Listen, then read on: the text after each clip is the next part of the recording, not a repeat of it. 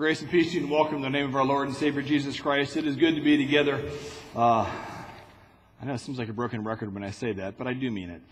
Um, so as we come together, there are a few things on our uh, announcements that we need to make sure that we are all aware of. Uh, one, if you are youth age, there is a modification to the schedule this evening.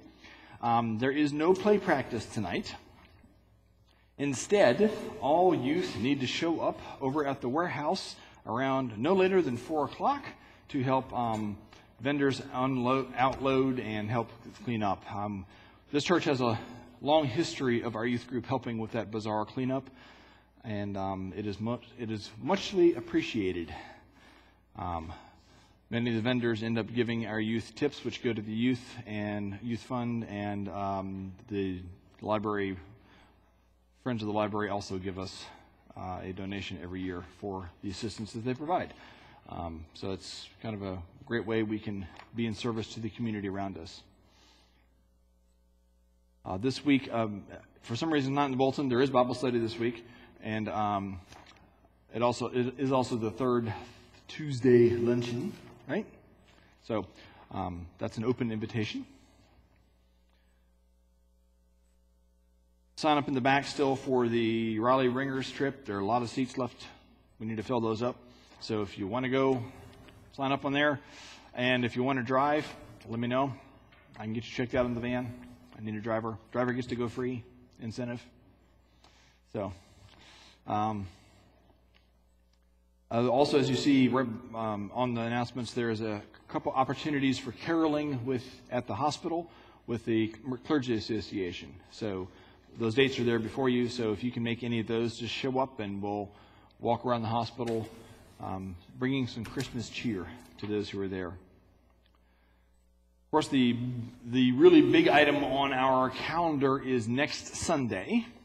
Um, in case you forgot what next Sunday is, we are celebrating our Heritage Sunday a couple weeks later than normal um, for this special celebration of our centennial um, on this spot. Uh, of course, Bishop Lewis will be with us for that celebration. Uh, and instead of, there will be no 845 service next week, and instead of Sunday school, we'll be doing a rededication service in the chapel. Um, and then we'll have the main service uh, at 11 in here as normal, followed by a fantastic lunch. Um, so, and we're planning for a bunch of people, so just show up, bring your friends, bring your neighbors, bring all the folks that you, you know you know that this church means something to them, and bring them along because it's going to be a great celebration.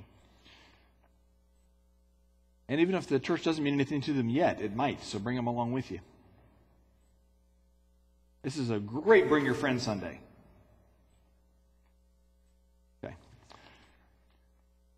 Um, after church today, real fast staff parish meeting, like two minutes. Um, but we do have our, our church council meeting as well. So we are ready to go for that. Anybody have any other announcements this morning? All right. Well, let us prepare ourselves for worship.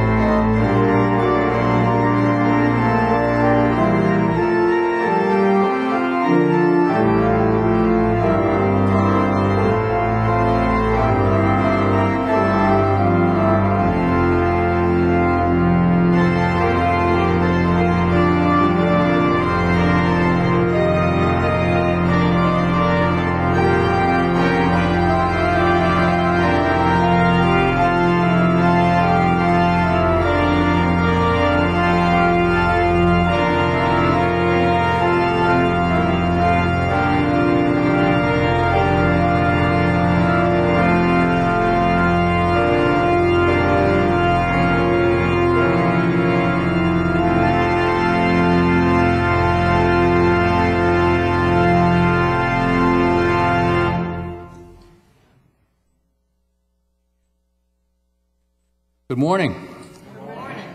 November 17th, less than a couple weeks till Thanksgiving. Makes me wish I had some of those days back, those December days back that I wished away when I was a kid. I'd only be half my age. But as we go forward over the next couple of weeks, giving thanks to God for our many blessings, please don't forget to the most important blessing of all, our Savior Jesus Christ. Amen. So as you are able, please stand and remain standing through the passing of the peace. And join me for the call to worship. Sing praises to God, O you saints, and give thanks to God's holy name. We exalt you, O God, for you have restored us to life. We may cry through the night, but your joy comes with the morning. You hear us, O God, and you are gracious in our distress. You turn our mourning into dancing. Our souls cannot be silent. Our God, our Savior, we give thanks to you forever. Our opening hymn is 110, A Mighty Fortress is Our God.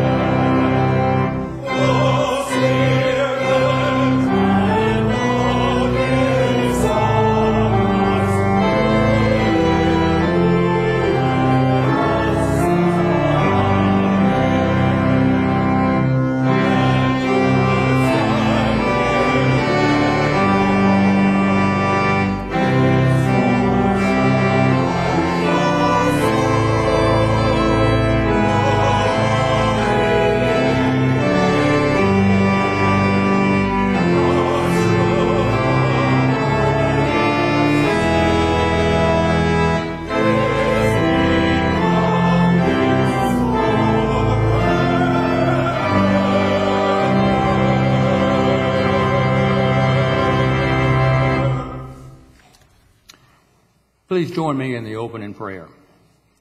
Direct us, O Lord, in all our doings, with your most gracious favor, and further us with your continual help, that in all our works, begun, continued, and ended in you, we may glorify your holy name, and finally, through mercy, obtain everlasting life. Through Jesus Christ our Lord. Amen. May the peace of Jesus Christ be with you. Please extend that peace to those around you. Peace, brother.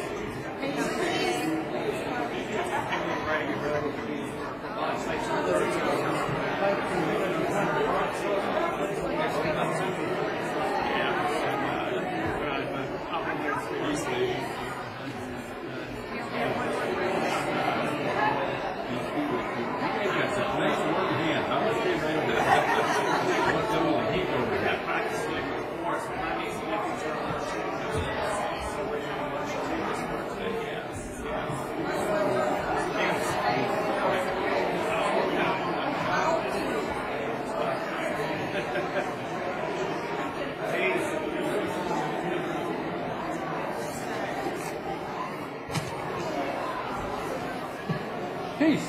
You too. Thanks. How are things behind my house? I hope, I hope you will be on it. Yeah. Had to, had to wait, wait for my result this morning. It was all five of them. Wow. Of varying sizes. Stair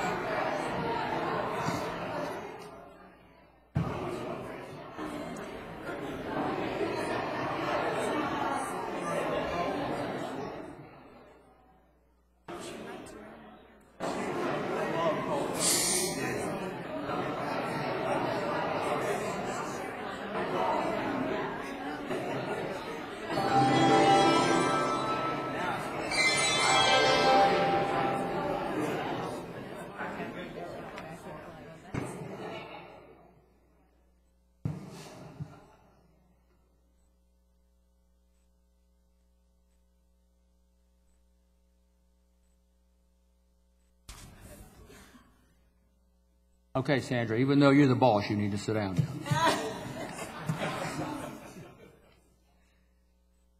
Our epistle reading this morning is from 2 Thessalonians chapter 3, verses 6 through 13. Brothers and sisters, we command you in the name of our Lord Jesus Christ to stay away from every brother or sister who lives an undisciplined life that is not in line with traditions that you received from us. You yourselves know how you need to imitate us because we were not undisciplined when we were with you. We didn't eat anyone's food without paying for it. Instead, we worked night and day with effort and hard work so that we would not impose on you. We did this to give you an example to imitate, not because we didn't have a right to insist on financial support. Even when we were with you, you were given we were giving you this command. If anyone doesn't want to work, they shouldn't eat. We hear that some of you are living an undisciplined life. They aren't working, but they are meddling in other people's business. By the Lord Jesus Christ, we command and encourage such people to work quietly and put forth their own food on the table. Brothers and sisters, don't get discouraged in doing what is right. The word of God for the people of God. Be to God.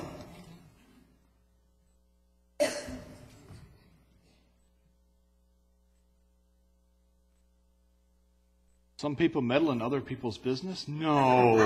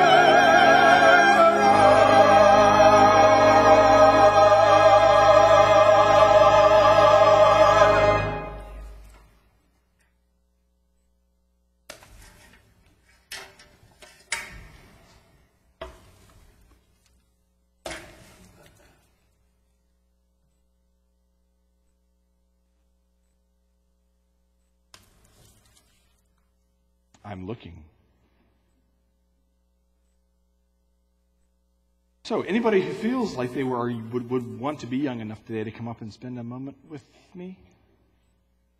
Guess not. That's all right. No goldfish for you. Let us um, stand as we are able as we hear these words from the Gospel according to Luke. This is from the 21st chapter. Jesus begins talking about the fate of the temple. Well, some people were talking about the temple, how it was decorated with beautiful stones and ornaments dedicated to God. And Jesus said, As for the things you are admiring, the time is coming when not even one stone will be left upon another. All will be demolished. They asked him, Teacher, when will these things happen? What sign will you show us that these things are about to happen? Jesus said, Watch out that you aren't deceived. Many will come in my name saying, I'm the one, and it's time. Don't follow them.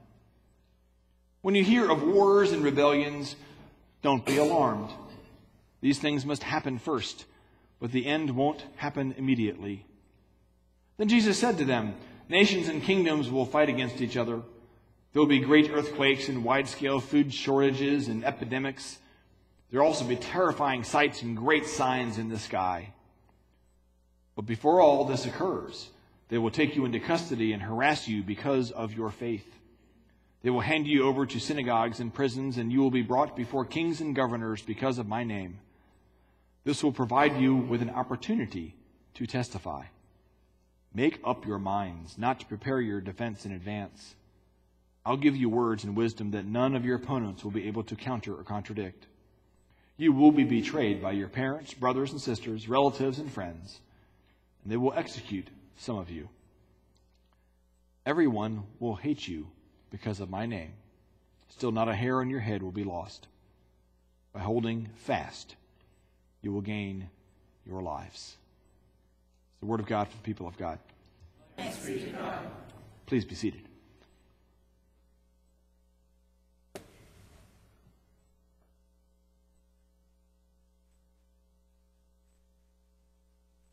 What a terrifying picture.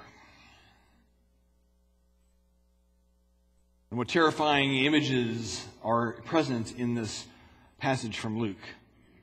I mean, wars and insurrections and nations against nations and kingdoms against kingdoms and earthquakes and famine and plagues and signs in the heavens. I almost feel like, you know, Dorothy and the Wizard of Oz, lions and tigers and bears. Oh my. I mean, this is a list. And even before all of that, arrest and persecutions of those who call upon Jesus' name. That sounds dreadful. That sounds absolutely terrifying. Right? And yet, in the midst of that, there's this message Don't be terrified. What? How can you not be? I think about the, you know, the disciples in Matthew, you read it in chapter 8, where Jesus is out on the boat with his disciples on the lake, and a big storm comes up, and the boat's rocking and shaking, and, and the disciples are freaking out and terrified and don't know what to do. And Jesus says, Where's Jesus? He's asleep in the boat. Disciples are going berserk. We're going to die. I don't know what to do. Let's go ask Jesus. And he's asleep. The disciples are freaking out, they're in panic. And Jesus, well, because he's the heavenly peace that even fear cannot destroy, he's not worried.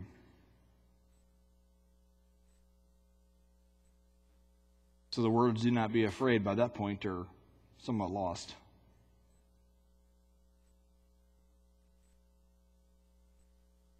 But isn't that a lot like most of us? Anybody seen things around you lately that freak you out? You listen to the news and you get all panicked. Right? I mean, am, am, I the only one that even feels remotely like that? I mean, you, you look at the news and you go, yikes!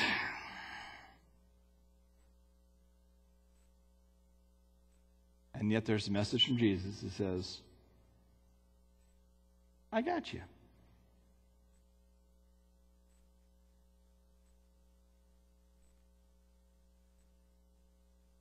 We tend to focus on the events. You know, we read the scriptures, and we're just like the people in Jesus' time. When is this going to happen? When's this temple falling? When's, when, what, how? Right? They want to know exactly how to know when it's coming. We kind of like to know what's coming, don't we? We want to, at least. Well, at least we think we do. We think we want to know what's coming. Give us a sign. Give us a something. Anybody ever prayed for a sign? I'm the only one. Whoa, no hand. This is this, okay. Never mind. You all get this figured out. I'll go home. No. I mean, we pray for a sign. You know, we want a sign. Tell me what's going to happen. I need to know. But even in this case, Jesus is saying, don't read too much into the signs because they're there. But those are not reliable signs of when the end is coming. They're just things that have to happen first. Jesus even warns that people are going to tell you, this is it, this is the end, this is. Don't follow them. They don't know what they're talking about.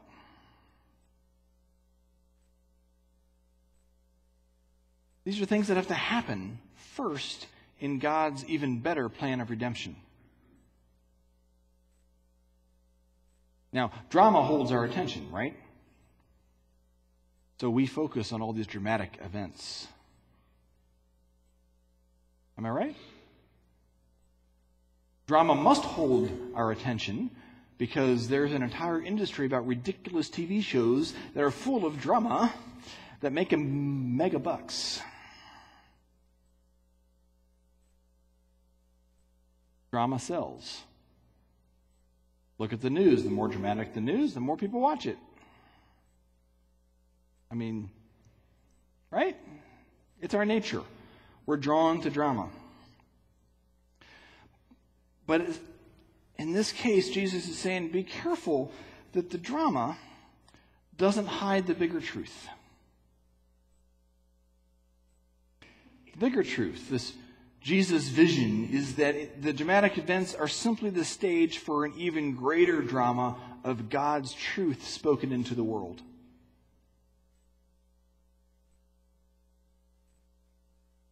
The events of the world, the things going on around us, the drama, the pain, the suffering, all of that gives us an opportunity to testify to God's work in the world in the midst of it.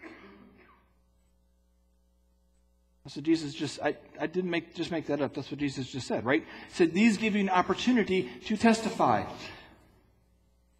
Suffering gives us an opportunity to provide hope.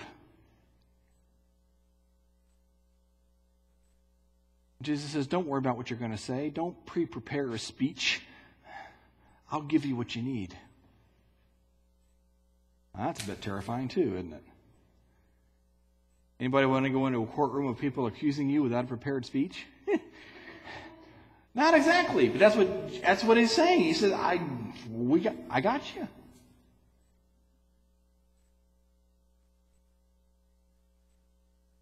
That's nuts in our human sense. The way we play that out is in our interactions with other people.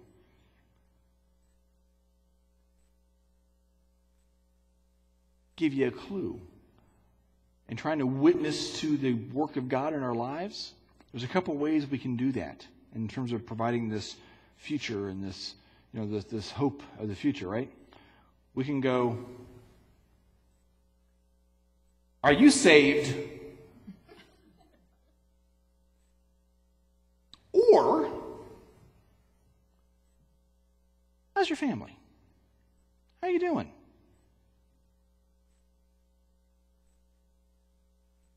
Which one's warmer and more hopeful? Yeah. You see, the world we're in is a very different world than most of us remember. Would you agree? There was a time when if you built the church, people showed up. That did exist. I've heard myths. it did exist. There was a time when that happened, and we think we still live there, and we don't.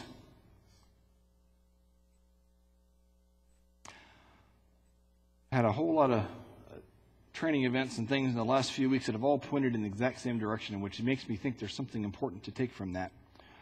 One of the things that I'll share with you now, there's a lot more of that coming in the future, but one of the things I'll share with you now is something that comes out of the church in England um, England is about 10 years ahead of us in terms of the secularization of the society.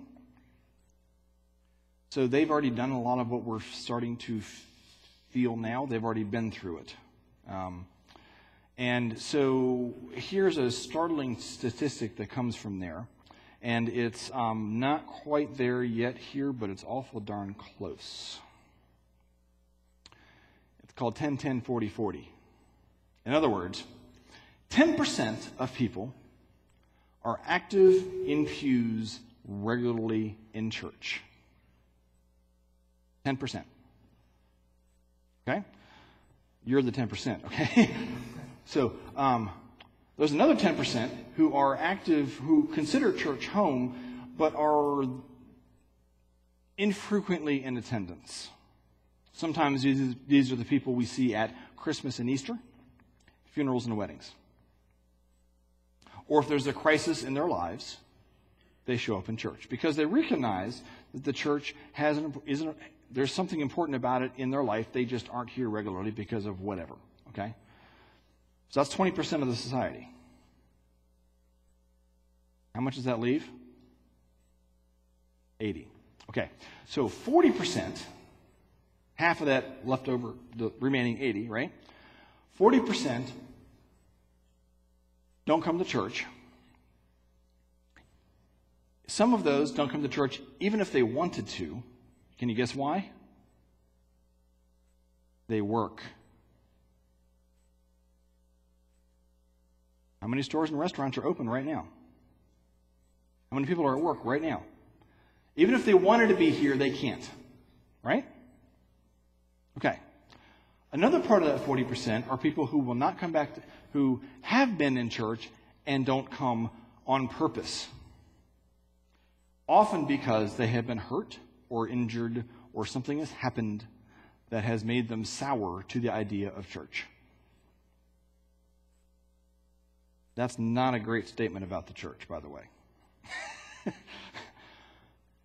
so that's 40% of society are people who either can't be here, even if they wanted to be, or just aren't, don't want to come, even though they're aware of church and would consider themselves Christian. That still leaves how much? 40%. 40% have no interest, no knowledge, no nothing, have no idea what happens inside these walls, don't really care. It's not part of their life. Not bad people, just church isn't part of their life. That's the world we're quickly emerging into, okay? That means we have two choices. We can either say, Woe is the world, or we can do something about it. We're in the, one of the most difficult places to be in terms of global whatever. We're in a situation very much like the early church was. The official term now is post Christian. In, in other words, more are not affiliated with church than are. Which means we have an incredible opportunity before us to share the love of God in the world. Right?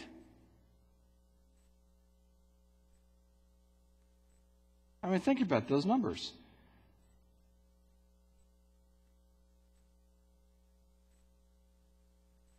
I think that's,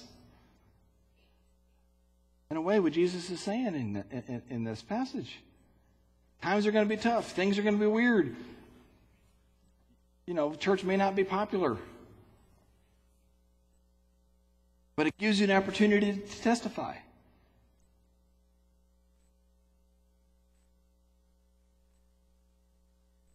Why don't we do more testifying? What's the one word? Fear. Am I right? I don't have the words to say. You might think, right? What do I say? How do I how do I do that? How do I You already have what you need. We all have what we need to share the love of Christ. We already have it. We've been given it already. And if we don't, God will give it to us when we need it. Because the way you interact with people is unique to you.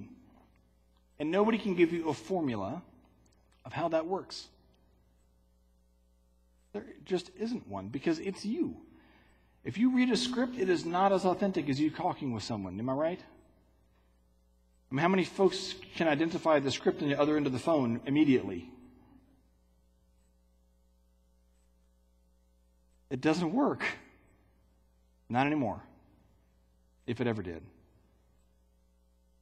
We have work to do. We have stories to tell. We have stories of hope and love and graciousness that we can share with the world. And you have your own, and we have the ones from the community. And oh my goodness, we have stories to tell. And a whole bunch of people outside these walls who need to hear it. People that you see each and every day of your life.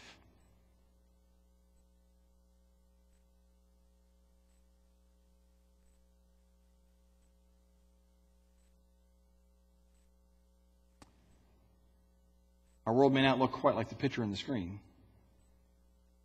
but it feels like that sometimes, doesn't it? Sometimes it feels like our world's burning down around us. Sometimes it feels like we're in a battle.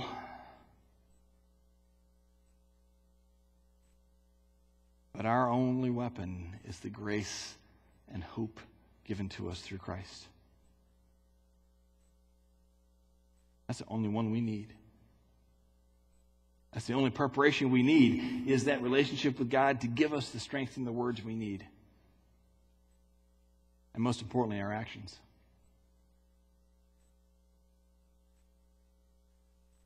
Let us use the difficult opportunity, the difficult world we have around us. Let us see it as an opportunity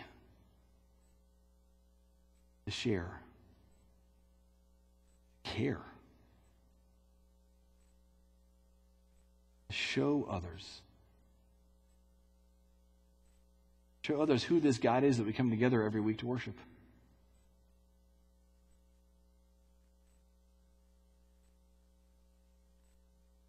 I think we have a great opportunity in front of us.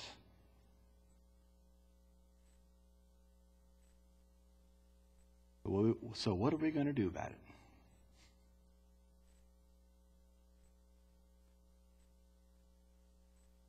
Tell the story of hope in a world that needs hope.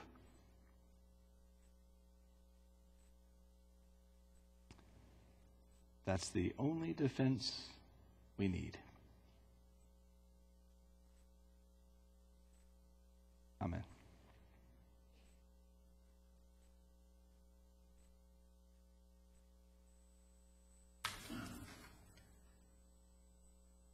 One of the amazing things about our faith is um, one, it's been around a really long time. uh, Christ was, what, 2,000 years ago ish? More? More or less, right? So the church in its early days worked out a lot of, worked through a lot of stuff about what was important and what wasn't in our faith. And um, that's why creeds are important because they help remind us of what was really important, the basics that we can all agree on. And the Nicene Creed that we're about to say together is pretty old. Council of Nicaea came up with this around 325. That's three digits. 325. That's a long time ago. But nothing has changed about the basics of our faith. They are still the same. And this is what's important. So let us recite this together to remind us of what really is important. We believe in one God, the Father, the Almighty, maker of heaven and earth of all that is seen and unseen. We believe in one Lord, Jesus Christ, the only Son of God, eternally begotten of the Father, God from God, light from light, true God from true God, begotten, not made, of one being with the Father. Through him all things were made. For us and for our salvation, he came down from heaven was incarnate of the Holy Spirit and the Virgin Mary, and became truly human. For our sake, he was crucified under Pontius Pilate. He suffered death and was buried. On the third day, he rose again in accordance with the Scriptures. He ascended into heaven and is seated at the right hand of the Father.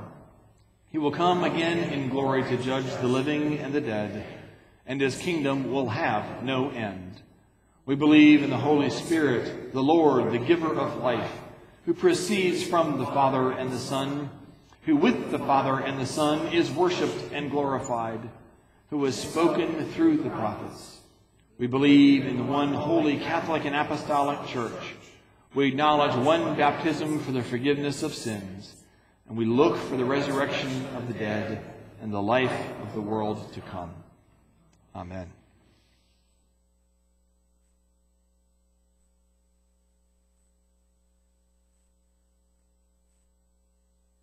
We are together and we see the list of those in front of us.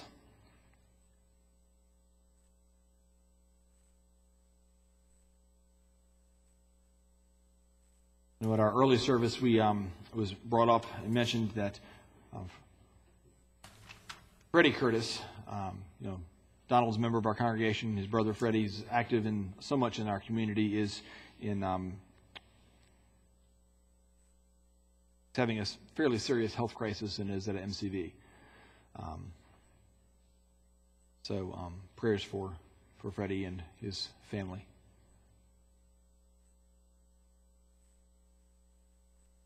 Are there others we need to lift up today?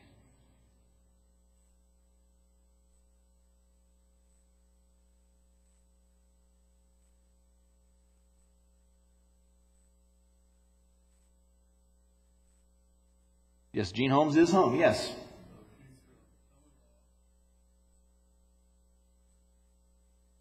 Absolutely.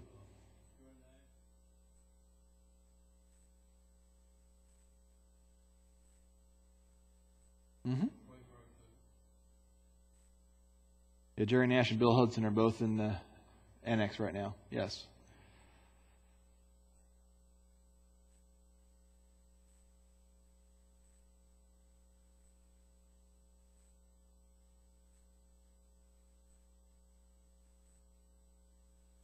Sandra Tyndall out of the hospital and home.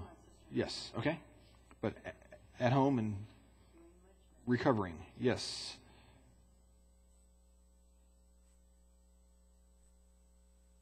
Family of Clarence Sneed.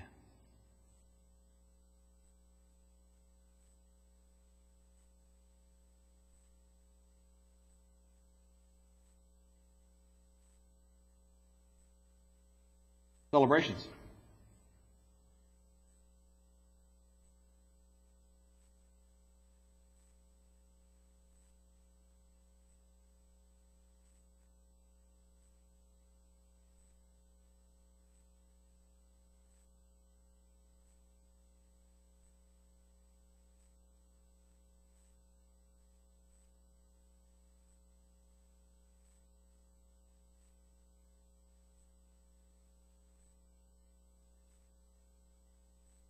So, a celebration of, of birthday for Emily and Brady. Yes.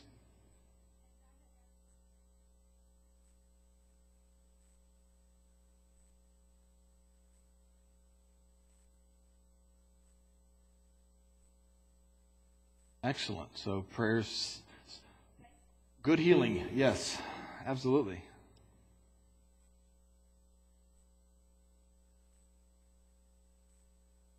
Good test results. That is a celebration.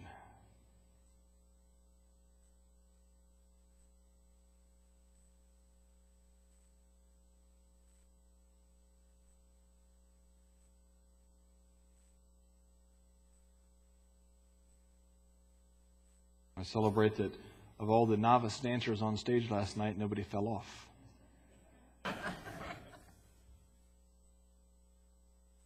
You think I'm joking, but I'm.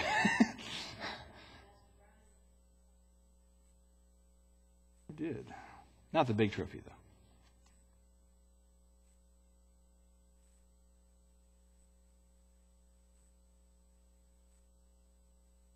All right, let us pray. Lord, we are together, and that's a good thing. We come together to celebrate you, to uplift each other, to, to be convicted and strengthened, to, to support each other so we can better be who you ask us to be.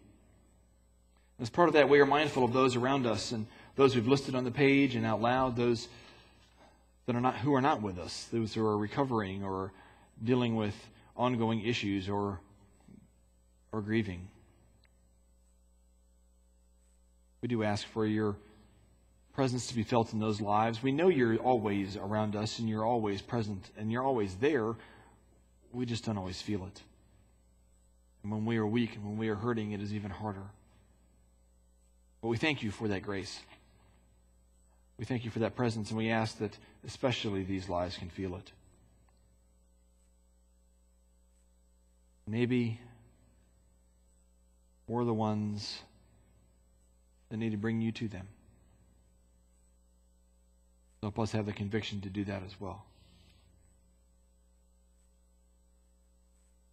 It really is amazing what you do in our lives. So, for each of these blessings, for each of these real connections with people, help us to continue to celebrate them as we figure out what it is together to be your people. All this we pray through Christ our Lord and Savior. Amen. So, as we continue our celebration of all God gives us and all God is in our lives, let us receive God's tithes and our offerings.